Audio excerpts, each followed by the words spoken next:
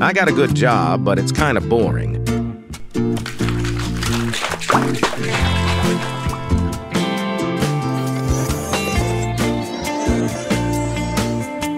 Oh, hey, Spider-Man, I see you got a new job. Let me help you out.